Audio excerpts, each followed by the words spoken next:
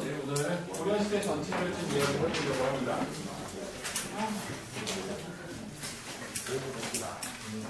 우리가 삼국시대는 세기별로 나눠서 파악했었죠. 어, 3세기까지 국가 체제 성립될 때 그리고 4세기, 5세기, 6세기로 나눠가지고 세계 항쟁 과정을 백제 전성기 그리고 고려 전성기, 신라 전성기로 나눠서 이야기를 해봤었습니다. 어, 뒤중에 계속 떠들면 화면 다 들어간다니까?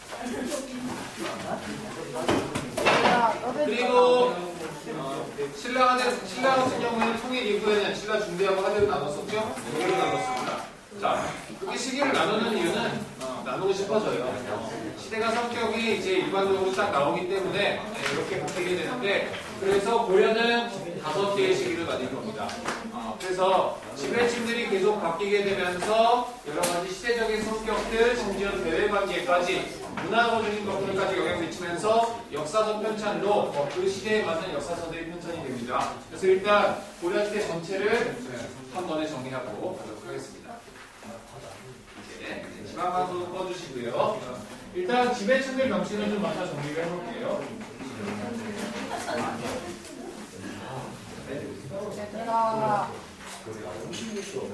앞이 답답은 좀 멈춰주시고요. 보겠습니다. 자, 고려 초기의 지배층은 누구였을까?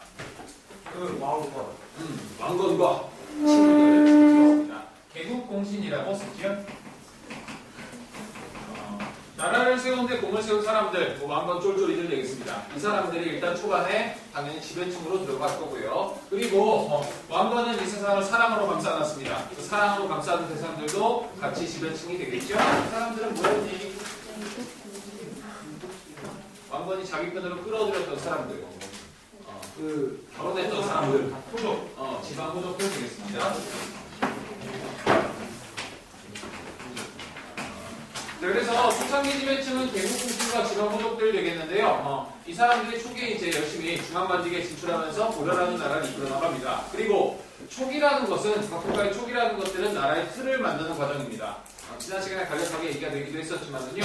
그래서 여러 가지 틀을 만들고 그리고 다양한 제도들을 만든 결과 음, 나라의 틀이 확립되게 되면서 그 제도에 최적화된 애들이 살아남았습니다. 그리고 그들이 지배층으로 자리를 잡습니다. 그들을 우리는 문벌 귀족이라고 부릅니다. 자, 이 명칭이 괜히 붙은 게 아니겠죠. 어, 뜻을 한번 생각해 봅시다. 문!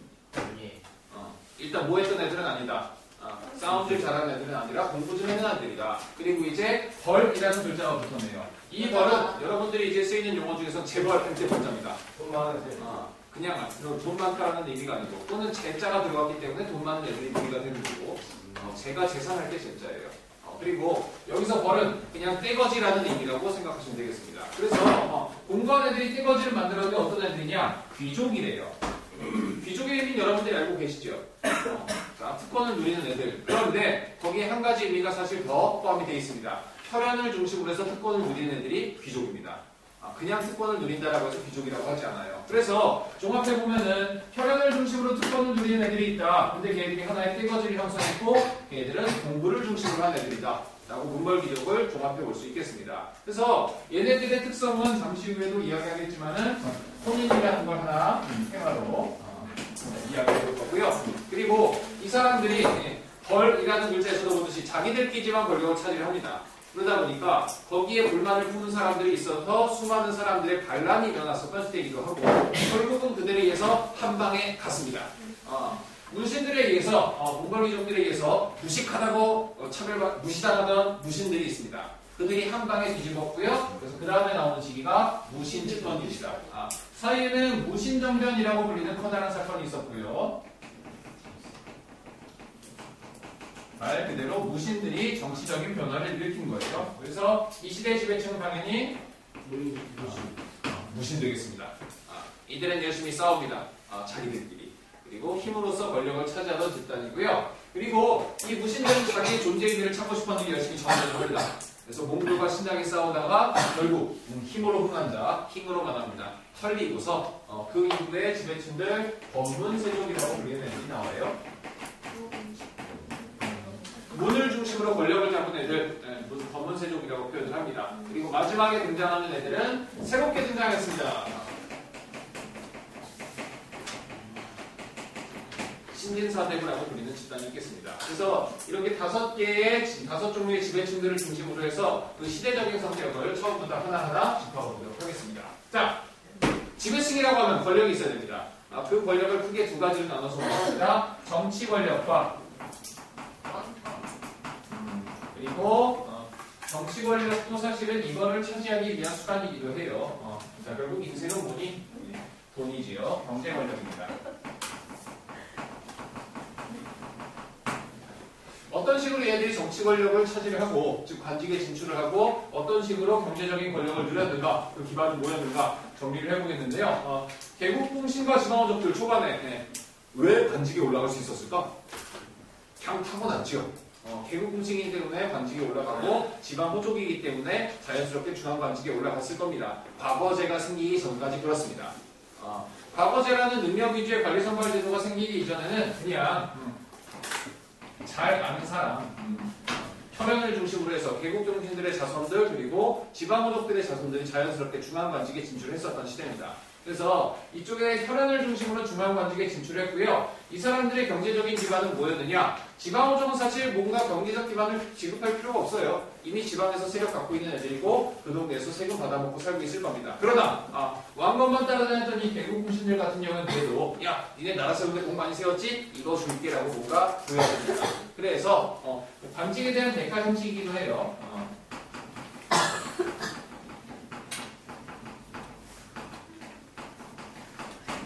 공신들한테는 역분전이라는 땅이 지급됩니다.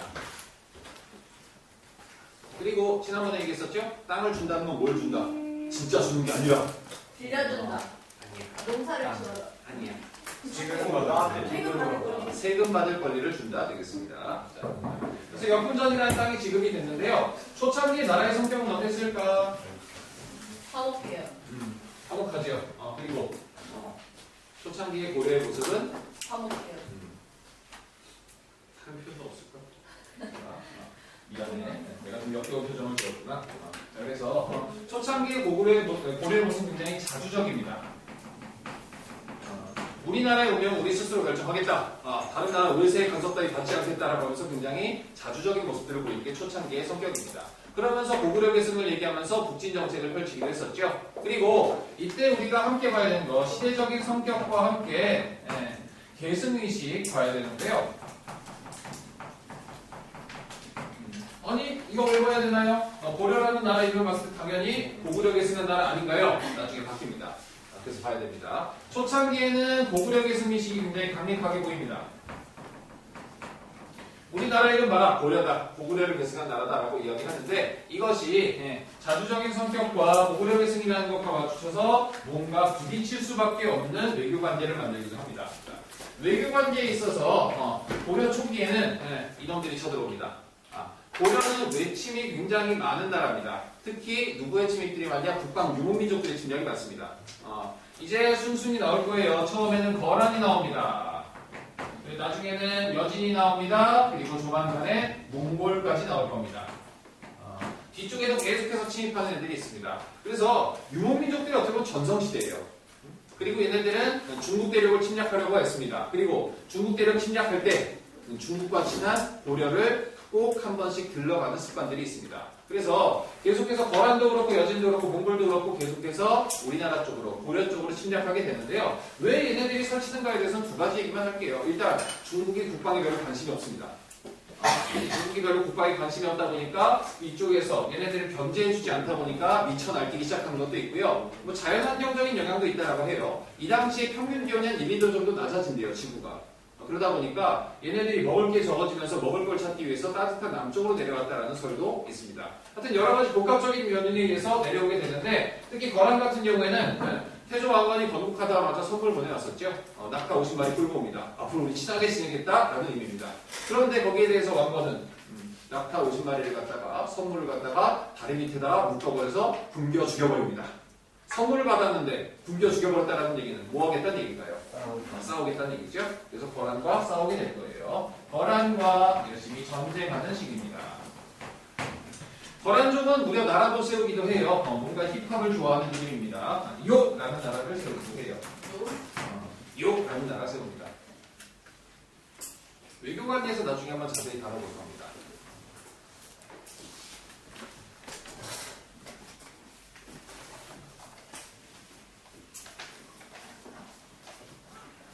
자, 그래서 초창기 고려의 모습들 이런 식으로 좀 정리가 되겠네요. 일단 초창기는 개국공신과 지방부족들이 주도했다. 얘네들이 주요 관직에 올랐고 그들은 혈연을 바탕으로 정치 권력에 진출했고 그리고 역분전이라는 걸 지급받기도 했다. 라는 겁니다. 그리고 성격은 굉장히 자주적인 모습을 보이면서 고구려의 승인식이 강한 시기였고 그리고 대외 관계에 있어서도 북진 정책을 펼치면서 그 북쪽에 있는 거란과 전쟁하기도 했다 라는 것이 이제 초창기의 모습입니다. 그러면서 고려는 왕권 강화도 해나갔고요. 그리고 여러 가지 제도 정비도 해나갑니다. 그리고 그런 제도가 완성되면서 그 다음 시기가 자연스럽게 넘어갑니다. 자, 이 제도에 최적화된 애들이 살아남았습니다. 그래서 우리가 이제 문벌귀족이라는 얘들을 얘기를 할 때 두 가지 테마가 얘기가 되는데요. 하나는 혼인이고요. 하나는 얘들의 합법이에요. 굉장히 합법적인 애들입니다. 왜? 제도를 어길 이유가 없어요. 제도 자체가 자기들한테 굉장히 최적화되어 있는 애들입니다. 그래서 이들은 어떤 식으로 권력을 유지하느냐 관리선발제도 있는 그대로 이용해 줍니다. 아, 고려시대 관리선발제도로서 어, 과거제가 도입이 됐죠. 어, 공부 좀 하면 과거를 통해서 중앙에 진출할 수가 있습니다. 그리고 공부 못해도 괜찮습니다. 얘들한테 무엇이 있느냐? 아, 고려시대에 귀족적 특성이 보이는 제도 음서라는 제도가 있습니다. 음서라는 이름은 여러분들이 신문기사에서 가끔 들어가면 이제 찾아볼 수도 있습니다. 현대판 음서제라는 표현으로 많이 쓰이게 되는데요. 아버지 댁으로 어, 시험을 거치지 않고 관직에 올라갈 수 있는 제도 음서입니다. 심지어 외할아버지도 가능해요. 고려 시대에는. 그렇다면은, 아, 내가 공부를 못했다. 근데 내 아들 관직에 올리고 싶다. 아, 내 자손, 내 자손을 관직에 올리고 싶다면은, 어, 아버지가 높은 관직에 있는 사람의 딸과 결혼하면 됩니다. 그럼 내 아들은 관직에 올라갈 수 있게 되는 것이 고려시대의 음서 혜택이기도 합니다. 자, 그래서 공부를 잘하는 과거 시험을 봐서 공부를 못하면 음서를 통해서 중앙관직에 진출하게 되는데요. 그리고 경제 권력에 있어서 이 사람들 역시 합법적인 방법을 씁니다. 당연히 관직에 올라갔겠죠? 관직에 월급처럼 주는 땅이 있습니다. 과전이라는 땅을 받습니다. 그리고 플러스 알파가 없습니다. 아, 높은 관직에 오른 사람들은 공음전이라는 상을 갖다가 추가로 받게 됩니다. 우리 쪽에 시급 비슷한 개념인데요. 기준이 딱 정해져 있어요. 어, 고려시대 등급이 네, 등급으로 나눠져 있게 힌트 여러분들 내신 등급과 비슷합니다. 어, 아홉 등급으로 나눠져 있습니다. 관리들이 아홉 등급으로 나눠져 있었는데 1등급부터 9등급까지 중에 딱 잘라서 5등급 이상 5품 이상의 관리 같은 경우에는 고위 관리로 해당이 돼서 어, 그 자손들은 문서의 혜택도 받고 공문전의 혜택도 받습니다. 자 그리고 이 공문전이 무서운 건 뭐가 있냐면요 어, 세습이 가능해요. 어, 내가 받으면 자손들한테 보여줄 수 있습니다. 그럼 계속해서 무슨 일이 일어날까? 나는 관직에 올랐어. 공업전도 받았어. 그리고 이제 과전도 받았지. 내 자식은 음? 자연스럽게 문서를 통해서 관직에 올라가. 그리고 이제 예, 내 공업전도 물려받아. 그리고 자기도 공업전도 추가로 받아. 이런 일들이 계속되는 겁니다. 그리고 이 시기에 보여준 거 혼인이라는 얘기를 했었는데요. 아, 음. 혼인이 왜 나오냐? 권력은 마치 하나의 피자와 같습니다. 피자 한 판을 혼자서 먹었습니다. 한 판 다 먹을 수 있습니다. 자, 둘이서 피자를 나눠 먹습니다. 피자 반쪽 먹을 수 있겠죠? 넷이서 피자를 나눠 먹습니다. 피자 4분의 1쪽밖에 못 먹습니다. 권력이라는 것은 한정되어 있기 때문에 나누면 나눌수록 한 사람이 찾 누릴 수 있는 권력의 크기 점점 작아질 수밖에 없습니다. 그래서 얘네들 어떤 방법을 택했느냐? 그래! 우리끼리 나눠 먹자. 그게 문벌기족입니다. 어, 떼거지를 어떻게 형성했냐면요. 한 다섯 개 정도의 가문이 예, 자기들끼리만 권력을 차지를 합니다. 그리고 자기들끼리 권력을 나눠먹는 과정에서 어, 혹시나 이 안에 누가 들어오면 어떡하지? 권력을 나눠주면 어떻게지라고 해서 외부인들이 여기로 끼어들어오는 것을 극도로 경계를 합니다. 그래서 어떻게 했느냐? 자기들끼리만 결혼해요. 다른 집안 사람하고 절대 결혼하지 않습니다. 다섯 개 집안끼리 서로 계속해서 혼인 관계를 맺으면서 자기들끼리만 권력을 유지했던 것이 문벌귀족입니다. 그래서 거기에 해당되는 애들은 요 다섯 개 집안만 해당된다고 보시면 되겠죠. 뭐 윤 씨라든지 이 씨라든지 여러 집안들이 있습니다. 그리고 또 하나의 혼인의 테마. 자기들끼리만 결혼한다라고 했는데요. 유일한 예외가 있습니다. 어, 자, 자기들 외에 누군가와 또 결혼하는 경우가 있습니다. 상식적으로 생각했을 때 자기 아래 애들이랑 결혼하겠니? 자기 위에 애들이랑 결혼하겠니? 위에는 누구밖에 없냐? 왕입니다. 그래서 이 시대 가장 잘 나간다는 증명, 어, 왕한테 자기 딸 시집 보내는 겁니다. 그래서 어떤 일까지 생각 생기느냐? 아, 굉장히 막장스러운 콩가루 집안이 하나 생겨버려요. 이모 아저씨가 있습니다. 이모 아저씨가 있는데요. 이 아저씨는 자기 둘째 딸을 왕한테 시집 보냈어요. 그런데 그 아들이 나중에 왕이 됐습니다. 아, 그리고 그 아들이 된 왕한테 자기 셋째 딸과 넷째 딸을 씹어줍니다. 자, 그러면 이 셋째 딸과 넷째 딸은 자기 아들을 뭐라고 불러야 될까? 지어머니. 그리고 이 둘째 딸은 셋째 딸과 넷째 딸 자기 동생들을 뭐라고 불러야 될까? 며느리 되겠습니다. 어, 요즘 기준으로 봤을 때 굉장히 막장스러운 모습이죠. 아, 이 시대에는 근데 근친간의 결혼이 흔하긴 했었어요. 하지만 어쨌든 간에 이때 이두 번째 아들 왕이 왕이 올랐을 때 이 할아버지는 이분의 위치는 어떻게 될까? 일단 왕의 외할아버지이자 왕의 더블 장인어른 되겠습니다. 그래서 왕보다도 거대한 권력을 가졌고 왕을 마음대로 하면서 심지어 자기가 왕이 될 생각까지 했었던 문벌기족 시대를 대표하는 인물 중에 하나입니다. 이자겸이라는 사람 나중에 배우실 겁니다. 그래서 결국 이렇게 권력을 독점하려고 했었고 그 이후에도 계속해서 권력을 독점하다 보니까 어, 계속해서 아랫사람들이 야 왜 니네끼리만 나눠먹어 우리도 나눠줘 라고 반란 일으키는 것이 이 문벌기족 시기 중기의 모습이기도 합니다. 큰 세계의 반란 사건은 다를 겁니다. 아까 이야기했었던 이자겸의 난 그리고 문벌기족 이외의 문신들이 이 사람들에 대항했었던 사건 요청의 서경천도 운동이라고 불리는 사건이 있습니다. 그리고 얘네들마저 털린 다음에 그 다음 차례는 그 아래 있던 무신들이었습니다. 무식하다고 무시당하던 무신들이 한 방에 뒤집어 엎습니다. 무신정변입니다. 그러면서 이제 문벌기적 시기가 끝나게 되는 겁니다. 아, 자 이들의 성격을 보시면은요 어, 사대적이라고 표현을 해요. 사대라는 건 큰 나라를 위로 섬기는 것들을 이야기합니다. 아, 그래서 이제 중국을 황제로 섬기게 되는데 그 중국이 좀 이상한 중국입니다. 얘네들은 예.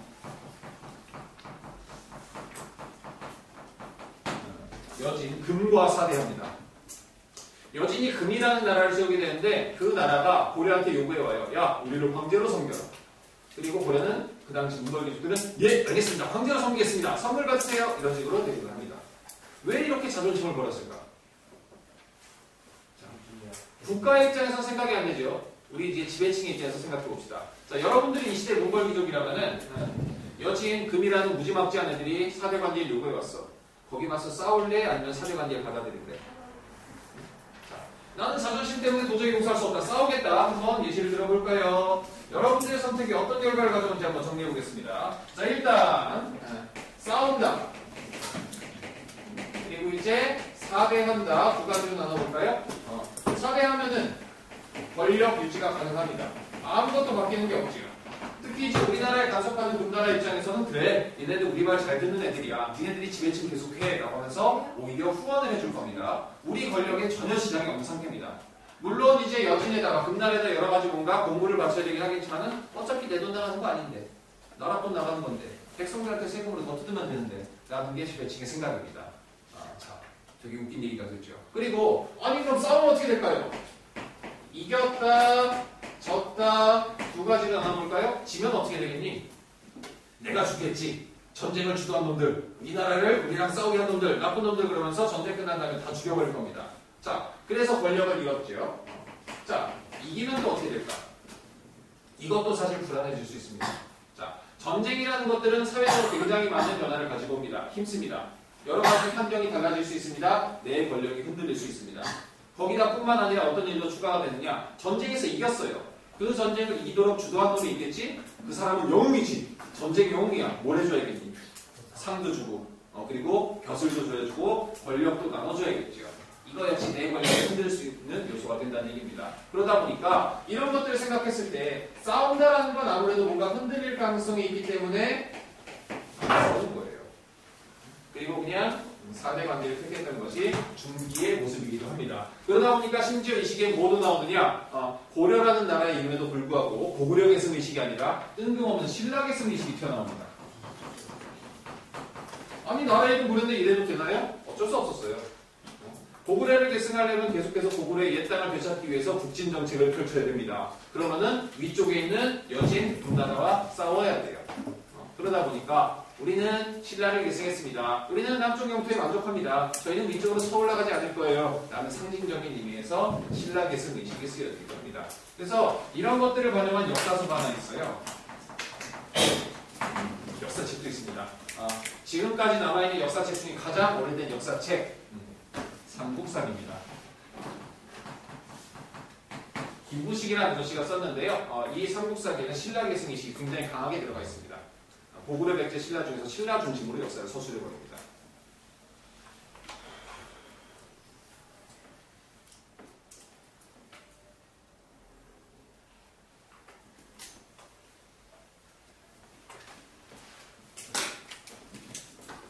자, 중기까지 그래서 이야기됐고요. 어, 그래서 이들은 결국 무신들한테 한 방에 갑니다. 무신들은 눈에 띄는 무신들을 다 죽여버립니다. 그게 무신정변입니다. 자, 그래서 무신들은 너무나 쉽게 네, 모든 것들을 다 죽여버리고 권력을 잡았는데요. 이 사람들은 권력을 어떻게 차지했을까? 무신들이 과거 시험 볼까? 아닙니다. 어, 그냥 때려잡으면 됩니다. 개인의 군대, 네, 사병이 얘네들의 권력의 원동력입니다. 근데 혼자만 사병을 가진 게 아니에요. 너도 나도 사병을 가지고 있습니다. 내가 권력자를 죽여버리면 내가 권력자입니다. 그래서 무신집권지에 보시면은요, 계속해서 서로 죽고 죽이고 또 죽입니다. 뭐 정중부란 사람이 권력을 잡았다가 이 사람도 이방을 죽이고 권력을 잡은 거고, 그 사람은 경대승한테 죽고, 그 다음에 이제 또다시 이의민이라는 사람한테 죽고, 이의민이 또다시 최충원 형제한테 죽고, 그리고 최시정권이 몇 번 이어지다가 막판에 가면 또 죽이고 죽이고 죽이고 합니다. 심지어 자기 집 노비한테 죽기도 합니다. 아, 이런 것이 무신집권 시대, 예, 사병, 개인 군대가 정치 권력의 기반이었던 시대고요. 그래서 굉장히 권력 다툼이 많았던 시대고 혼란스러웠던 시대겠죠. 그리고 얘네들이 경제적인 권력은 뭐였냐면은 주로 이제 다른 것들도 있지만 눈에 띄는 게 시급입니다. 시급 뭔지 기억나세요? 네. 어, 나라에 공을 많이 세운 사람한테 네, 주는 땅입니다. 근데 무지막지하게 달라요. 어, 심지어 최시정권 시대의 시급이 어느 정도였냐? 아, 최시정권에 가지고 있었던 시급이 대표적으로 전라도 지역의 80%를 가진 시급으로 갖고 있습니다. 그 얘기는 뭘까? 우리나라에서 가장 농사가 잘 되는 지역 어디? 전라도. 거기에 시급이 80%라는 얘기는 전라도 지역의 세금의 80%가 그 권력자의 개인 호주머니로 들어간다는 얘기입니다. 그거 하고 뭐 했을까? 열심히 이런 것들을 키우고 어, 자기 사치스러운 호화스러운 생활을 했겠죠. 어, 그러다 보니까 백성들은 당연히 작살났는데 이 시기 나름 자주적이라고 볼 수 있는 시기이기도 해요. 자기들이 뭔가 존재 의의를 찾고 싶었는지 전쟁을 합니다. 아, 이 시기에는 금나라로 가고 몽골 나중에 이제 원이라는 나라로 이어집니다. 몽골과 아, 전쟁하는 시기입니다. 전쟁이라고 부르기도 사실 부끄럽긴 해요. 아, 몽골과 열심히 싸우는데요. 실제로 싸우지 않아요. 지배층들은. 이 시대를 가장 상징적으로 보여주는 것은 강화도로 수도를 옮겨요. 어?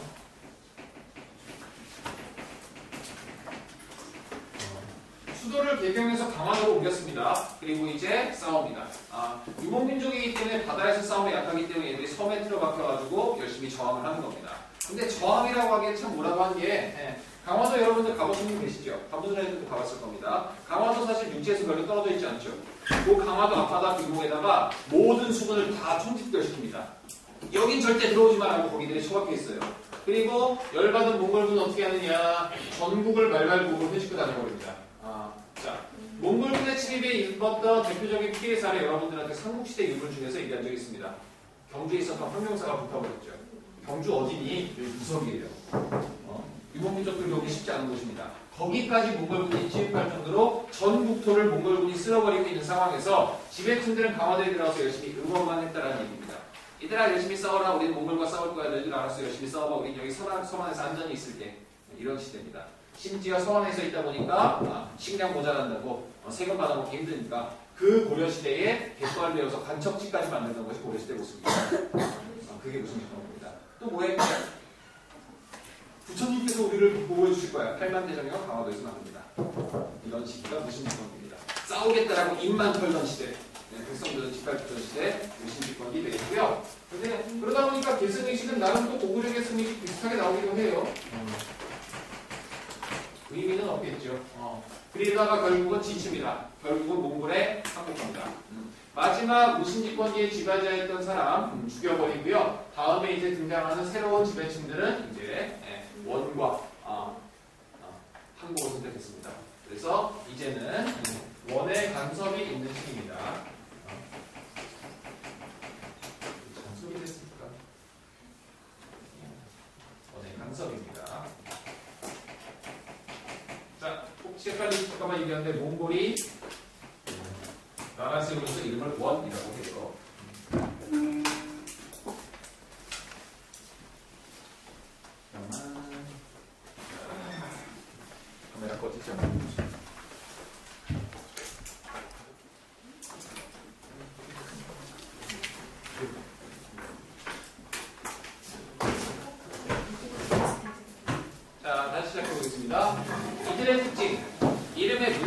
들어갔는데 별로 공부할 생각은 없습니다. 아, 얘들은 무식합니다. 권력 유지 두 가지 방법이 있습니다. 문서를 통해서 계속해서 관직에 진출하고요. 그리고 추가 하나. 자, 다른 나라 외세의 간섭을 받는 시기에 권력을 잡기 위해 가장 좋은 방법은 음, 그 나라랑 시장. 자, 친일파라는 단어는 익숙하시겠죠? 이걸 살짝 바꿔주시면 됩니다. 뭐라고 부를까? 아, 친원파라고 보시면 됩니다. 원나라랑 같이 사면 돼요. 심지어 그 당시 어떤 일이 벌어지느냐? 원나라에서 사신이 와요. 그거를 소식을 듣고서 어떤 사람이 출세하기 위해서 자기 딸을 갖다가 그 사신한테 바칩니다. 벼슬을 얻습니다. 자, 그리고 이 시대 원나라는 고려한테 굉장히 많은 것들을 뺏어가는데 심지어 이때 고려의 여자들도 데려갑니다. 아, 결혼하지 않은 여자들을 데려가는데 그 여자들 중에서 한 명이 원나라 황제의 눈에 띄어가지고 원나라 황제의 형비가 됩니다. 아, 기화왕죠. 몇년 전에 여러분들 드라마에서 보셨을 겁니다. 그런 스토리를 가지고 있고요. 그래서 그 기씨 일가는 고려에서 왕보다도 더 강한 권력을 자랑하기도 합니다. 왕이 뭔가 원나라 마음에 안 드는 짓을 하잖아? 그러면 원, 원나라 황제가 불러요. 야, 이리 와. 음, 그러면서 이제 왕 자리에서 쫓아내버립니다. 새로운 왕을 갖다 세워버립니다. 그리고 그렇게 할 수 있는 원동력 중에 하나는 이 당시의 모든 고려의 왕들은 원나라 공주와 결혼하고 있습니다. 원나라 공주가 스파이 역할을 해버려요. 그래서 뭔가 알 수 없는 시대인데 이 시대의 검문세족들의 경제 권력은 우리가 농장이라고 부릅니다. 자, 농장이라는 표현 아주 갑자기 속 키우나요? 이런 생각이 들겠지만은요. 어, 이전의 통치들 시급, 과전, 공금전, 역분전 다 공통적으로 우리가 아까 얘기했듯이 세금 거둘 권리를 주는 땅들입니다. 근데 이거는 자기 소유예요. 자기가 가진 땅을 넓게 가졌을 때 우리가 그걸 농장이라고 부릅니다. 소유가 좋을 것 같아? 세금 받는 수도권이 좋을 것 같아? 소유가 좋아요. 숫자로 비교해 드릴게요. 세금 받을 권리를 가지고 있으면요. 그 땅에서 농사 지은 거 세율 몇 프로? 10분의 1입니다. 10% 정도 받습니다. 그런데 자기 소유의 땅이죠? 그러면 그 땅을 농부들한테 야, 내 땅 빌려줄게. 여기서 농사 지어. 그리고 땅 빌려간 대가를 내놔. 그러면서 수확량의 절반을 가져갑니다. 어, 훨씬 더 좋죠. 그래서 자기 소유의 땅들을 본격적으로 놀러가기 시작하고요. 성격은 아무것도 바뀌길 바라지 않아요. 보수적이라고 보시면 되겠습니다. 아, 근데 계승의식에는 되게 특이한데요. 정신승리합니다. 우리가 지금 우리들한테 힘으로 졌지만 우리한테 뭐가 있다? 오랜 역사가 있다라고 해서 정신승리 들어가십니다. 그래서 이때는 뜬금없는 고조선 계승의식이 나타나기도 합니다. 자, 역사 연구가 이런 식으로 나타날 때도 있어요. 정신승리. 뭔가 외적한테 시달릴 때 음, 우리가 비록 지금 힘이 약하지만 우린 뿌리 깊은 역사가 있다. 민족적 자긍심을 일깨우고 저항감을 일깨우기 위한 거기도 합니다만은 약간 좀 정신스럽게, 정신승리스럽게 보이기도 해요. 우리 초등학교 때 그렇게 잘했어, 뭐 그런 거죠. 그래서 그런 정신승리가 역사의식이 또다시 강하게 나타날 때가 나중에 한번 올 겁니다. 어떨까? 일제강점기 들어가기 직전부터 잠깐 나타나기도 합니다. 자, 그런데요, 그 다음 이제 시기도 점점 넘어갈 겁니다. 어, 이거는 되게 자연스럽게 바뀝니다. 한순간에 딱 넘어가지 않아요. 문벌기족에서 무신 넘어갈 때 무신정대 한 방에 넘어가 버립니다. 그리고 역시 무신 집권지에서 검은세력 넘어갈 때 마지막 무신 죽여버리면서 한 방에 넘어가 버립니다. 그런데 네, 이거는 천천히 바뀌어요. 자, 원간섭기는 어떻게 끝나갔을까요? 어떻게 원간섭기가 흔들리기 시작할까? 어, 원이 망해가면서 흔들리기 시작합니다. 어, 원나라 황실 간의 내분이 일어나고 그리고 이제 원나라한테 지배를 받고 있었던 중국 오리지널 한족이라고 부릅니다. 걔네들이 반란을 일으키기 시작합니다. 그러면서 새로운 나라를 시작, 세우기 시작하는데요. 이제 원나라가 망해가고 명나라가 세워지는 원명 교체기입니다. 그래서 원나라의 지배를 지배에 대해서 불만을 갖고 있던 사람들이 슬슬 원나라의 간섭에서 벗어나고 벗어나기 위한 정책들을 펼칩니다. 이것이 원명 교체입니다. 이 시대에 새롭게 등장한 애들이 신진사대인데요. 이름 한번 풀이해 볼까요? 신진. 음, 새롭게 나타나는데요. 그리고 사대부. 사와 대부가 합쳐진 말입니다. 사는 선기사자, 학식이 뛰어난 사람을 일컫는 말이고요. 대부는 관리입니다. 어, 관리라는 것은 여러 가지 실무 능력에 뛰어난 사람이라는 얘기입니다. 자, 공부를 잘한다고 해서 일 처리를 잘하진 않아요, 사실. 그렇지? 그런데 이 사람들은 공부도 잘하고 일 처리도 잘하는 만능이었습니다. 그 각 대표- 대표적인 이유가 뭐였냐? 이들은 최신 학문, 성리학을 공부한 애들입니다. 최신 유학의 성리학을 공부했기 때문에 얘네들은 현실적인 문제를 해결하는데 누구보다 관심이 많았고 그리고 실제로 현실적인 문제를 많이 해결하고자 노력합니다. 그 사람들이 신진사대인데요. 이 사람들은 그럼 어떤 사람이냐? 성리학을 공부했는데 어떻게 공부하느냐? 자, 경제적인 기반부터 설명을 하면요. 지방의 중소지주 출신이에요.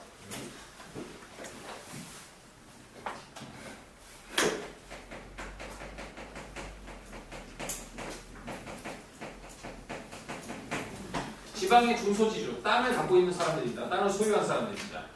지주는 땅을 갖고 있는 사람들이죠. 중소지주, 대지주는 아니에요. 그럼 중소라는 게 어느 정도냐? 자기가 직접 농사 짓지 않아도 될 정도. 자기가 직접 농사 짓지 않아도 될 정도 어느 정도 재산이 있는 사람들, 지방의 유력자들, 이 사람들입니다. 자, 그렇다면 이 사람들은 농사 짓지 않고 그 시간에 뭐 했을까? 놀면 뭐하니? 공부했겠죠. 공부해서 뭐 했을까? 과거 시험 봤겠죠. 과거를 통해서 중앙관직에 진출을 합니다. 그래서 야 나 관직 얻었어 월급 줘라고 하는데 국가가 월급을 안 줍니다. 국가가 월급으로 땅을 줘야 되는데 말이죠. 어, 이 사람들이 다 가져갔어요. 법무세력들이 다 가져갔습니다. 그러다 보니까 얘들은 시작할 때부터 월급을 받기 위해서 어떻게 해야 되는 거니 이놈들을 몰아낼 수밖에 없죠. 어, 그래서 처음부터 싸웠던 애들입니다. 처음엔 세력이 미약했습니다. 원나라가 뒷배경으로 있는 검문 세력과 싸우기는 굉장히 힘들었습니다. 그러나 원나라가 고려에 신경을 쓰지 못하게 되면서 이제 왕과 왕한도 어, 왕들도 법문세족한테 시달렸겠죠. 그래서 왕과 신진사대부가 힘을 합쳐서 법문세족의 세력을 점점 약화시키면서 점점 이제 이들의 세상을 만들어갑니다. 그래서 막 싸우기 시작할 때 왕이 공민왕이고요. 어, 그래서 공민왕을 기억해둬야 되는 거고요. 공민왕이 이제 강원자주 정책이라고 표현을 할 겁니다. 원나라에 반대하는 정책들 여러 가지 펼치게 되고 그리고 결국 이 신사대부들은 법문세족들을 몰아내고 그리고 어, 이들과 힘을 합칩니다. 자, 이 시대 성격, 신진사대부들의 성격은 굉장히 개혁적이라고 보시면 되겠어요. 모든 것을 다 바꾸고자 합니다. 고려라는 나라도 400년 이상 됐기 때문에 여러 가지 안 좋은 것들이 많습니다.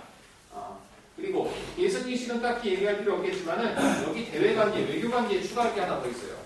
이 시기는 굉장히 힘든 시기입니다. 자, 원명유책이니까 시들끼리 싸우는 우리는 괜찮겠지라고 하겠지만은 명나라를 다시 세우고자 하는 한족 부운동하는 애들이 머리에 빨간 띠 두고서 이제 도적대처럼 쳐들어옵니다. 머리에 빨간 띠 둘렀다라고 해서 홍건적이라고 불러요. 아니 도적대가 얼마나 온다고? 10만이 옵니다. 어, 이렇게 스케일을 보여줍니다. 도적대인데 10만이 쳐들어오고 심지어 얘네들이 수도 개경까지 함락시켜버리기도 합니다. 어, 그래서 왕이 피난 갔다가 죽을 뻔하기도 하고요. 그리고 북쪽에서 홍건적이었는데 남쪽은 괜찮냐? 남쪽에서 외구가 쳐들어옵니다. 아니 외구 해적 아닌가요? 얘네들 그냥 누락질하는 애들 아닌가요? 이땐 좀 셉니다.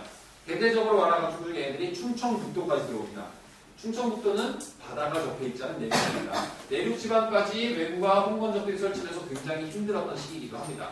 그런데 예, 이를 결국 물리쳐요. 그리고 물리치는 과정에서 우리가 신흥무인 세력이라고 불리는 애들이 새롭게 성장합니다. 국가를 구한 영인, 영웅들, 군사력을 바탕으로 한 사람들 이런 애들이 성장하게 되고 이들과 신진사대부들이 일부가 힘을 합쳐서 뭐 했을까요? 새로운 세상을 만들겠죠? 어, 그 새로운 세상 어, 조선 되겠습니다. 조선 건국하는 세력이 됩니다.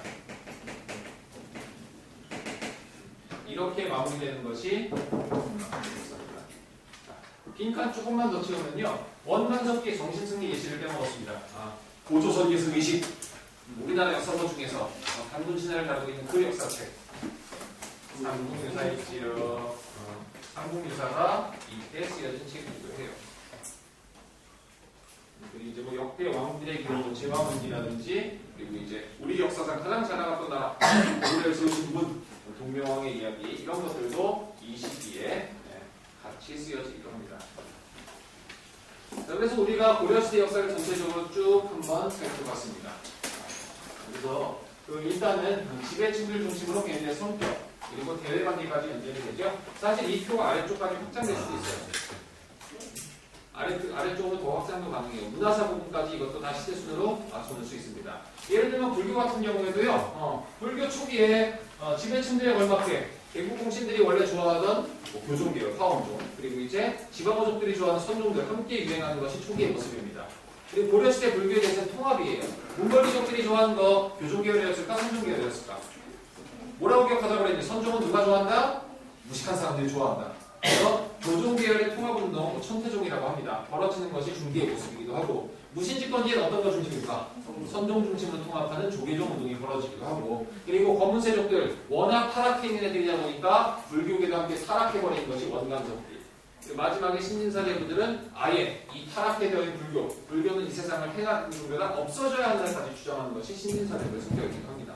그래서 불교의 흐름도 다 맞출 수가 있고 그리고 이제 유학 같은 경우에는 뭐 초기에 개혁적으로 막 잘 가다가 그리고 이제 과거 시험에 흔하면서 어, 사교육의 전성시대가 열립니다.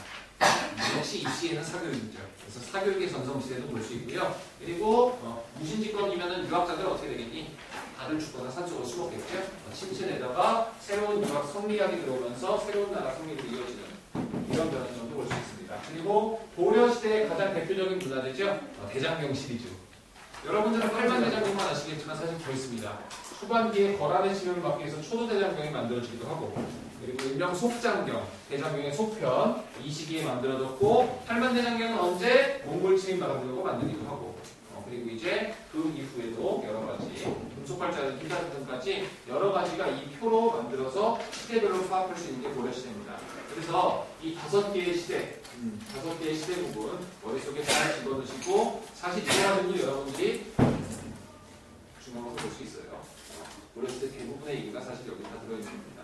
구체적인 얘기를 추가하게 되면서 앞으로 남은 음, 몇 시간을 하니? 몇 시간 남았죠? 어, 이 시간 동안 이제 우리는 고려 시대 전체 정치적인 얘기와 외교적인 얘기까지 마무리 짓게 될 겁니다.